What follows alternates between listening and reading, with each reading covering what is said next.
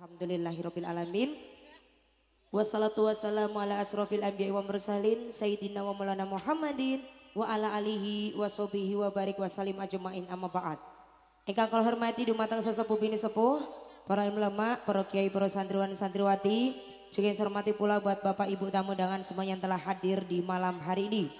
Puji syukur kehadirat Allah Subhanahu wa taala karena di malam yang berbahagia kali ini kita semua bisa bersilaturahmi tentunya di kediaman Bapak Gudel Suyatno beserta Ibu Sendang Mulyani dalam keadaan sehat walafiat tanpa ada suatu halangan apa pun. Dan tak lupa salawat dan salam kita haturkan ke pangkuan beliau Nabi Agung Muhammad Sallallahu Alaihi Wasallam yang mana kita nanti nantikan syafaatnya kelak di yomil kiamah. Amin Allahumma. Amin. Kali ini selamat berjumpa bersama kami Kasidah Putri Arimbi di bawah naungan oleh beliau Bapak Ustadz Huda yang berdomisili di Pulau Rejo Purwodadi.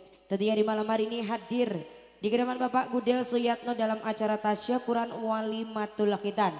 Yaitu Bapak Suyatno menghitankan putranya yang bernama Adik Wildan Ahnaf Al-Fariski. Kita doakan buat Adik Wildan semoga menjadi anak yang soleh, berbakti kepada kedua orang tua dan apa yang menjadi cita-citanya selalu terkabulkan oleh Allah Subhanahu wa taala. Amin amin ya rabbal alamin. Juga tentunya di malam yang berbahagia kali ini Arimbi kerja bareng bersama